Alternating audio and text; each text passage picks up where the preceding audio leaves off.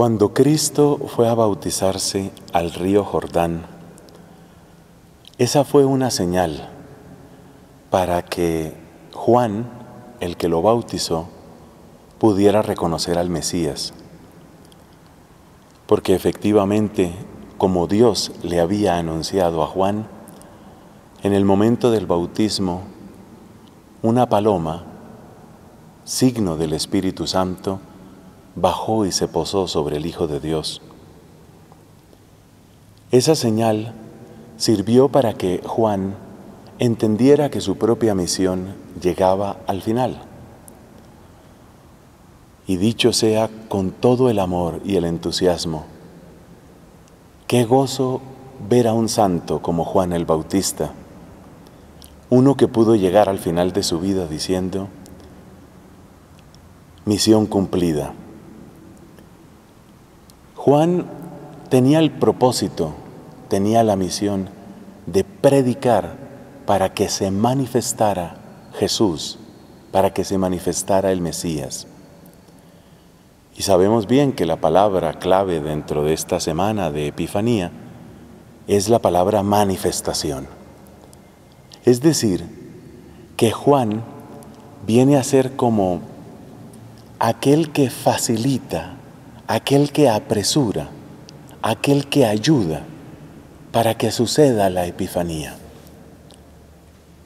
Creo que no estamos acostumbrados a mirar a Juan el Bautista en esta óptica, pero no solo es justa, sino que es muy hermosa y correcta.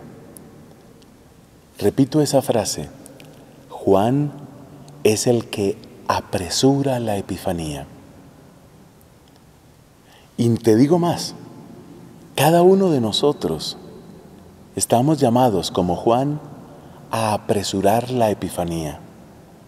Lo que dijo Juan fue, yo he sido enviado a predicar para que éste se manifieste a Israel.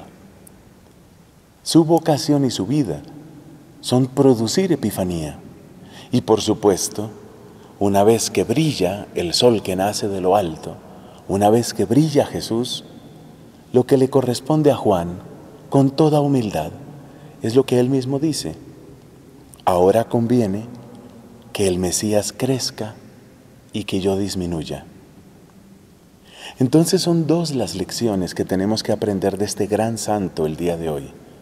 Primera, somos gente llamada a apresurar la Epifanía, es decir, facilitar el encuentro de cada uno de nuestros hermanos con el Mesías.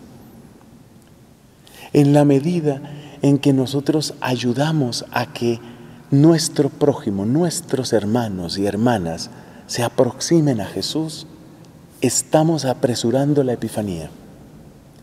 Piensa, por ejemplo, en una amiga que le dice a su amiga, estuve haciendo un retiro espiritual con tal o cual movimiento en tal parte, con tal sacerdote, y fue algo maravilloso. ¿Me acompañas la próxima vez?